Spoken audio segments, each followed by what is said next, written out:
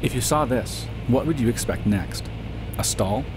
No, actually, we're going to put the airplane into a 30 degree bank, all a part of learning slow flight. The last time you spent any time in extended slow flight was probably during your flight training, and it likely took a while for you to get it right. Whether you realize it or not, the airplane passes through slow flight every time you take off and every time you land, which makes it an important skill to master.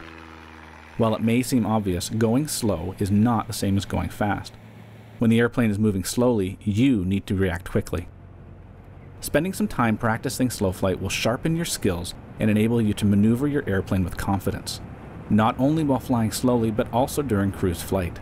So let's go back to basics and relearn slow flight. All right, so let's get nice and stable 4,000. I'll give you the controls.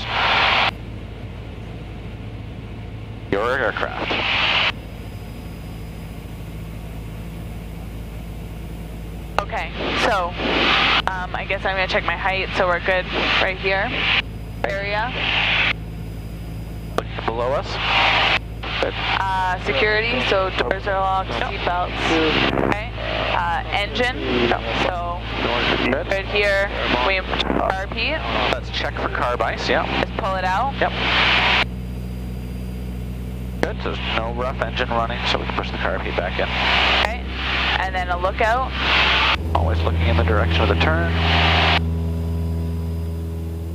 Okay, so I should bring it down, back down to 4,000 Yeah, so it's ni- nice and stable at 4,000 feet. All right, so we're going to start by bringing the air, the uh, RPM back to about 1900. Just slowly bring it down, and just hold the nose up from dropping. Remember, once the control pressures get too much on the yoke, just trim them away. Okay. Now we can go down to about 1700. Good, because we're in a fixed pitch propeller, it's just going to slow the RPM down as we slow down. Okay, so we're pitching for airspeed and power for altitude. Looking outside, glancing inside every now and then, but mostly outside. Okay, there we are. And let's add a little bit of power to hold 4,000 feet. Pitch the nose down just a bit for airspeed. And a little bit more power to hold the altitude. Recognizing when your aircraft is in slow flight is a fundamental ability. It's your first defense against a stall. In slow flight, you will have a slow airspeed, reduced control effectiveness, and you will probably hear the stall horn if your aircraft has one. To maintain level slow flight, as you see here, a nose high attitude and a high power setting are required. Good, so how's your coordination right now? Right rudder. Yeah, uh, definitely right rudder. When we're into slow flight, if your foot isn't tired after a while, you're not doing using enough rudder, generally speaking, okay? Remember, the reduced airflow over the control surfaces means that the controls are much less effective, and they will need to be moved a greater amount to achieve the same results as you would see in cruise flight. Hold a steady attitude. If you hold a steady attitude, your airspeed will stay steady. Okay. Okay. So HASEL check is complete. So we're going to start to slow it down again. So, Yep, And put my carb heat? Good. Well, let's get established at about 60, just like what we did last time. 4,000 feet. Watch, you're gaining in the entry here. Good. Pitch for airspeed, throttle for altitude. Add some power in to hold your altitude. Watch that the nose doesn't come up higher when you add the power. And we're going to need some more right rudder to hold coordination. Remember those left turning tendencies. Okay, let's uh, let's go ahead and let's add 10 degrees of flaps. Remember the nose is going to come up.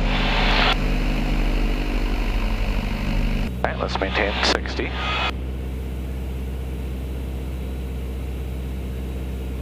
Right, so you need to lower the nose a little bit in order to maintain your altitude. So the addition of flaps gives us a little bit more forward visibility, which is good. uh, right? Like I have more of a horizon. Exactly. And now we can actually fly a little bit slower because we've increased the lift by adding flaps. All right, let's go to 20 flaps.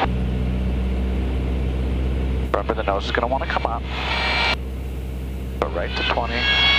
Okay, pitch forward, lower angle of attack. There we go. We almost stalled. So remember that as those flaps come in, we need to push down a bit and not let the nose come up. Let's maintain 55 miles an hour now at 20 degrees of flaps. Okay, and let's go ahead and recover. Some full power, carb heat cold. Pitch the nose down a bit. Just a little bit, push. As the airspeed comes up, we're going to raise to 10 degrees of flaps now, above 60 miles.